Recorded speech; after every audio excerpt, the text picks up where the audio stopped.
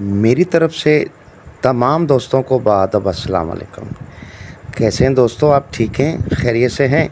मेरी बहनें, मेरी बेटियाँ, आप कैसी हैं? अल्लाह आपके पर्दे सलामत रखे मेरी बच्चियों, मेरी बेटियों। अल्लाह पाक हर दुख, मुसीबत से आपको दूर रखे, खुश रहें, आबाद रहें अपने घरों में। और जितने मेरे मेम्बरान हैं, अल्लाह आपको हर दुख, मुसीबत से, आफत से अल्लाह पाक दूर रखे आपको। और आपके घराने को हमेशा हंसता खेलता रखे, सितारों की तरह। और आप खुशियाँ देखें, गम आपके नज़दीक ना आए। और अल्लाह पाक नेक तमन्ना आपकी नेक ख्वाहिश को अल्लाह पाक पूरी फरमाए। और अल्लाह पाक आपकी नेक तमन्ना, नेक दिली ख्वाहिश अल्लाह पाक वो तो पूरी फरमाएँगे। और इन आप अल्लाह पाक आपकी रोज़ी के रास्ते बनाए, गैब से इतना रिस्क अता फरमाए कि आप फलाई काम में हिस्सा लें। और दोस्तों, जो हमारे परदेसी भाई आप भी मेरे साथ मिलकर उनके लिए दुआ किया करें, आमीन किया करें। क्योंकि अपने बाल बच्चे छोड़कर बेचारे वहाँ रहते हैं परदेश में, और वहाँ किस तरह रहते हैं मुझे पता है। भूख काट कर किस तरह रहते हैं, किस तरह अपने जो है, और बाप की बातें सुनते हैं, मुझे पता है, मैं रह कर आया हूँ। दुबई में, अरब कंट्री में मैं रह कर आया हूँ। इलाज के लिए, शेखों के लिए हम जाते हैं ना तो देखते हैं ये सब। तो अल्लाह पाक उनकी तमाम मुश्किलें आसान फरमा दे मेरे मौला। हर बीमारियाँ दूर फरमा दे उनकी। और उनके बच्चों को सलामत रखो, खुश रखना, उनको दुख तकलीफ़ों से दूर रखना। आमीन। आप भी आमीन कह दें दोस्तों।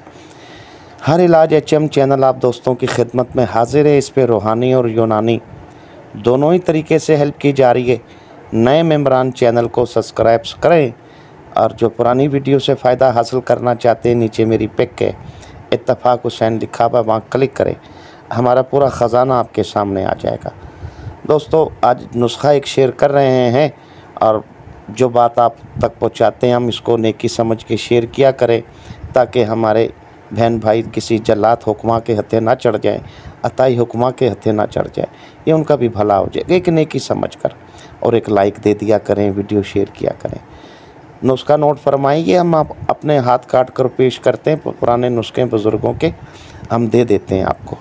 आपको नुस्खा देख के ही अंदाज़ा हो जाएगा कि कैसा नुस्खा मैं दे रहा हूँ आपको। दोस्तों, नुस्खा नोट फरमाएँ और तरतीब सुनिएगा। हम जिस तरतीब से ये बनवाएँगे नुस्खा, सौ परसेंट काम करेगा इन और दुआएँ देंगे आप। तरफला आप ले लें साठ ग्राम। तरफला। सिकाकाई ये भी साठ ग्राम आपने लेना है दोस्तों।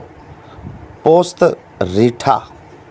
जहाँ पोस्त का कहीं भी नाम आएगा ना जड़ी बूटी का, पोस्त का मकसद ये है कि उसका छिलका, यानी कि रीठे का छिलका आप लेंगे, साठ ग्राम। अच्छा बाल झड़ आप लेंगे, ये भी साठ ग्राम। और रतन जोत ये भी आप साठ ही ग्राम लेंगे। जड़ी बूटियों का तमाम का वज़न साठ साठ ग्राम है। अभी जो तेल इसमें ऑयल आप ऐड करेंगे, उसका वज़न भी सुन लें आप। तेल सरसों असली हो, ये एक किलो यानी कि एक लीटर आप लेंगे। और तिल का तेल, ये लेंगे 125 ग्राम।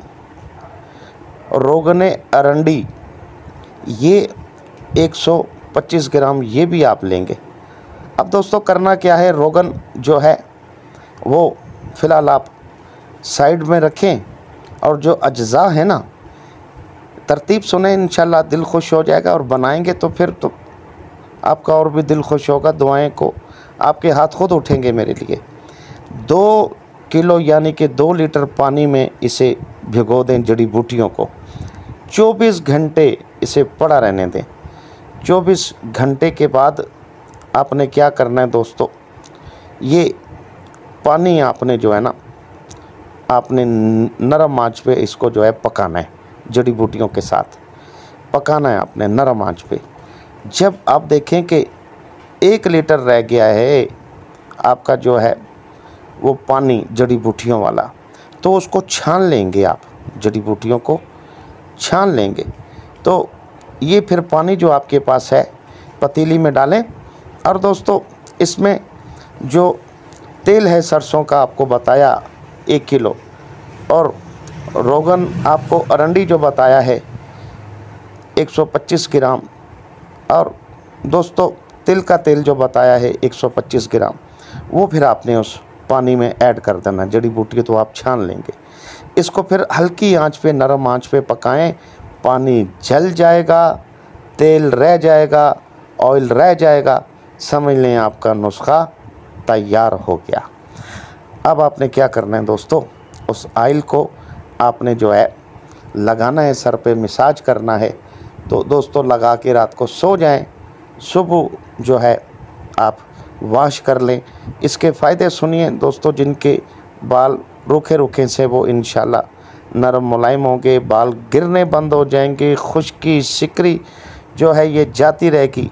बाल आपके शाइनिंग वाले चमकदार मुलायम होंगे और जिनको गंजापन है, वो गंजेपन वाले भाई जो हैं, गंज वाली जगह पर जो है ऐसे जो है अच्छी तरीके से उस वहाँ पर आयल थोड़ा डालकर मसाज करें, हल्का हल्का, ज़ोर से नहीं, जड़े जो हैं और मज़ीद जो है उसको, जो है वो तोड़नी नहीं।